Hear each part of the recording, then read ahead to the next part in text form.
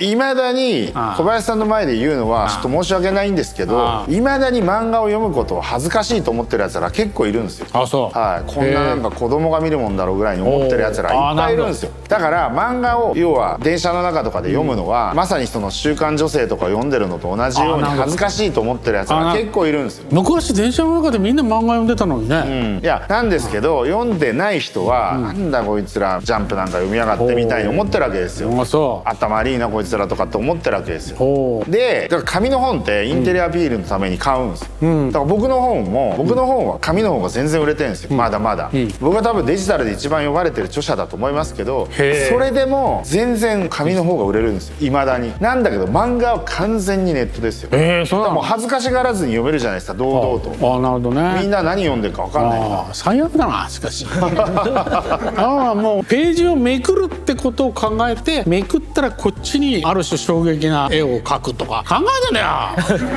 これこうなっちゃう。何やねんこれね。こんなことやってこんなやだやってしまったらもうわしの苦労は台無しやない。もう本当書き込み多いですからね小林さんの絵は本当に。だからもう本当にそうだからデジタルほろほろもなこれあとこうやって拡大してみないといけないですよあれだってそれ最悪だよね漫画を描き続けてきた小林さんが漫画で言論を語るというところの意義ってもうずっとギャグ漫画を描き続けるっていうこともあったわけじゃないですか、この意義って何なのかなというまあいやそう言論語るね。例えばわし戦争論っていうのをこう書いたけど、それ随分ヒットしたんですけど、今の若い人たちがかつてのね戦争をどんな状態どんな服だったのかどんな服装でどんな街だったのかって言ったら漫画の方が分かるよね文章だと分かんないでしょ。だからやっぱり漫画じゃないと分からないという感覚ってあるんですよ、それで残るってだ今大学の図書館なんかで漫画の本で一番たくさん置かれてるのって戦争論ですよわしのでだって入門するのにはすごくいいでしょ学生がね。分かりやすいですよね。全くあこんな感じなのかとかって言って。それはね本当にそうです。よ日本軍の服はこんな軍服だったとかね。ヘルメットはこういうかぶり方だったとか、全部わかるじゃんあれを読んで例えばもっとそのね文章だけで書いてある。はい。学者のやつを読むとかっていうやり方だっていいでしょ。でも良かったですね、逆にそのそういう言論漫画みたいなものを書き始めて、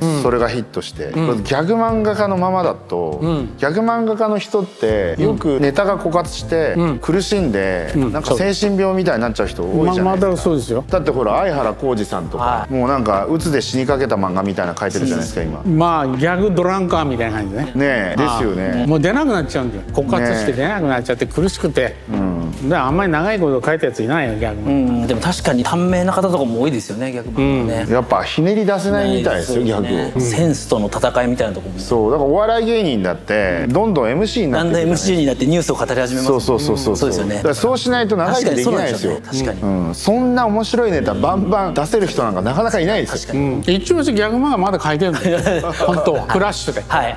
恋愛論ってつけてるけどこれギャグ漫画なんですよ、はい。一応書いてるんですよ、はい。だからあのギャグ漫画ってもうテンポですから、はい。テンポ音感だから、だからもうそこの部分が衰えてしまったらはい。書けないんですよ、はい、